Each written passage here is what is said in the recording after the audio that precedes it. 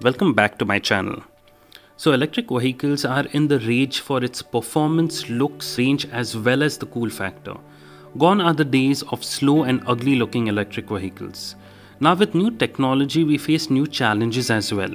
Fire is one of the main safety concern of an electric vehicle and more importantly why do they even catch fire? So unlike internal combustion powered vehicles where fuel can be drained from a vehicle's tank, there is no surefire method of removing energy from a vehicle's lithium ion battery where the battery has been damaged in a crash. Because of that, energy remains trapped inside the battery and a process known as thermal runaway can occur, in which battery essentially continuously overheats, overpressurizes and is prone to fire and sometimes explosions. Another explanation is the quality of the fuel cell.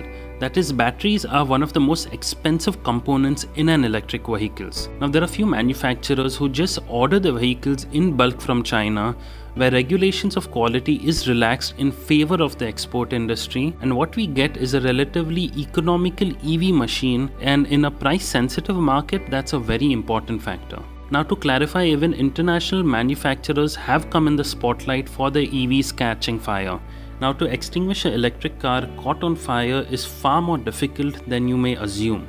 A Tesla Model S which caught fire required nearly 30,000 gallons of water to extinguish it because it kept on reigniting burning continuously for 4 hours.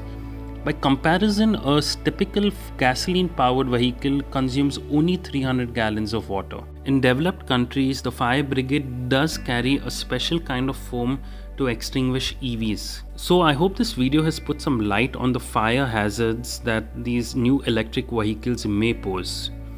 I would love to hear your comments below and as usual thank you for watching this video and I look forward for seeing you in my next one.